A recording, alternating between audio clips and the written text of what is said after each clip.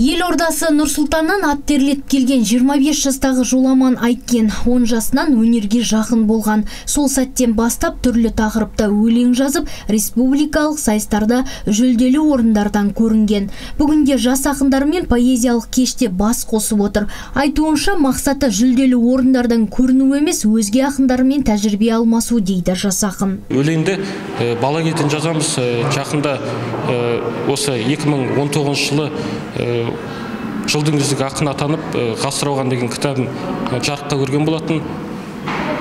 Жалпы бұл поэтикалық дуэльге қатысу мақсатымыз ақындармен бас қосу ақындардың ақындармен аралас құралас болу тәжірибе алмасу деп білемін бұндай дуэль республикамыздың әр өңірінде болса деген ниетіміз бар. Ұйымдастырушылардың айтуынша бұл шара жас ақындардың ішкі мүмкіндіктерін ашып, өнерге деген қызығушылығын арттырады. Сондай-ақ әдебиеттегі аға буын мен жас толқынның өзара ауызбіршілікте болуын қамтамасыз етеді. Осы ақындар айтысына қатысып отырған ақындар мүшайрасына дуэліне қатысып отырған ақындардың барлығы да тәуелсіздіктің тумасы сондықтан бүгінгі екі тақырып берген бұл шымкент жалпы осы қаратау өңірі оңтүстік екіншісі еркін тақырып.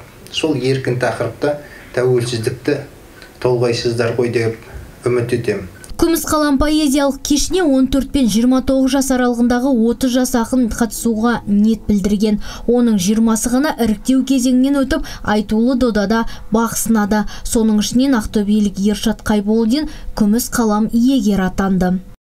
Нұргүл жолымбетова ербол махашев мади жаппарханов нарнюс